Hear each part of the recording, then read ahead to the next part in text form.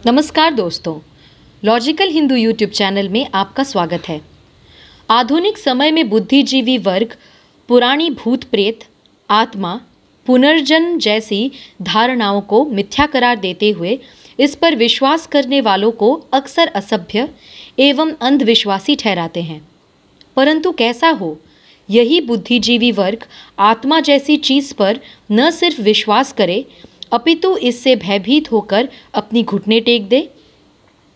ऐसी ही एक घटना सामने आई, भारत में बुद्धिजीवियों का गढ़ कही जाने वाली जवाहरलाल नेहरू यूनिवर्सिटी से, जिसके माही हॉस्टल का रूम नंबर 10 पिछले कई सालों से बंद है। ऐसा क्यों?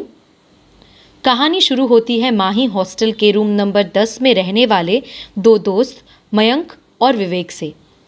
दोनों यूनिवर्सिटी के छात्र थे। मयंक उत्तर प्रदेश के झांसी का रहने वाला था, जो स्पेनिश भाषा में एमए द्वितीय वर्ष का छात्र था। विवेक दिल्ली का रहने वाला था और मयंक का सहपाठी था। एक बार मयंक ठंडियों की छुट्टियाँ बिताने घर गया। इस दौरान मयंक ने अपना मोबाइल बंद किया हुआ था, क्योंकि वो छुट्टियों का पूरा मज़ा उठाना चाहता था। छुट्टियाँ ख़त्म हुई और मयंक हॉस्टल वापस आया। परंतु विवेक ने महसूस किया कि मयंक का स्वभाव कुछ बदला हुआ था। उसने कक्षा में उपस्थित होना बंद कर दिया था। वो अपने दोस्तों से भी नहीं मिलता था और वो अक्सर रूम में बेड पर लेटा हुआ मिलता था। विवेक द्वारा इसकी वजह पूछे जाने पर वो ठीक से जवाब नहीं देता था। आखिर सबको हंसाने वाले और चेहरे पर हमेशा मुस्कान लिए ठिठोलिया करने वाले मयंक के साथ ऐसा क्या हुआ कि वो इतना शांत रहने लगा? विवेक कभी कभी जब रूम में जाता तो उसे सारे कपड़े और रूम साफ़ मिलते कपड़ों पर बाकायदा इस्त्री करके वो अलमारी में रखे हुए होते थे। तथा कभी कभी साफ़ कपड़े भी कीचड़ में सने हुए फर्श की धूल चाट रहे होते। रूम इतना गंदा मिलता कि उसमें सांस लेना भी मुश्किल होता। एक दिन विवेक को हॉस्टल वार्डन ने अपने कक्ष में बुला भेजा। शायद उससे कोई मिलने आया था। विवेक द्वारा वहाँ पहुँचने पर उसे पता चला कि मयंक के पिताजी उससे मिलने आए हुए थे। विवेक ने उन्हें पहचान कर उनका चरण स्पर्श किया और बोला, अंकल, मैं अभी मयंक को बुलाता हूँ। इतना सुनते ही मयंक के पिता की आँखों से आँसू छलक पड़े और वो विवेक को गले लगाकर रोने लगे। विवेक स्तब्ध था। उसने मयंक के पिता के आँसू पोंछते हुए पूछा, अंकल, क्या हुआ? आप क्यों रो रहे हैं?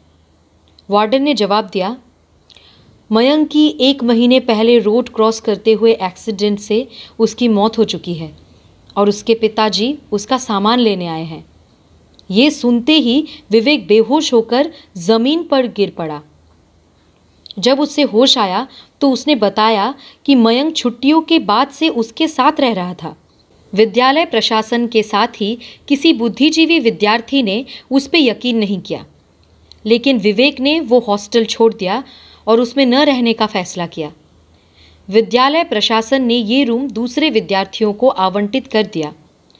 अगले विद्यार्थियों के साथ भी वही घटनाएँ हुई जो विवेक के साथ होती रहती थी। शायद मयंक की आत्मा का मोह उस रूम के साथ मरने के बाद भी नहीं छूटा था और वो किसी दूसरे को इसमें नहीं रहने देना चाहता था।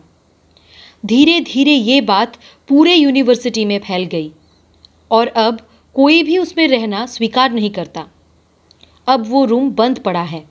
रहने वाले बताते हैं कि आज भी रात में उस रूम से मयंक की आवाज़ें आती हुई सुनी जा सकती है। अब एक ही प्रश्न उठता है कि आत्मा को कोरी कल्पना समझने वाला बुद्धिजीवी वर्ग इस रूम में रहना क्यों स्वीकार नहीं करता? मैं आशा करती हूँ कि ये वीडियो आपको पसंद आई होगी। हमारे चैनल को सब्सक्राइब कीजिए धन्यवाद।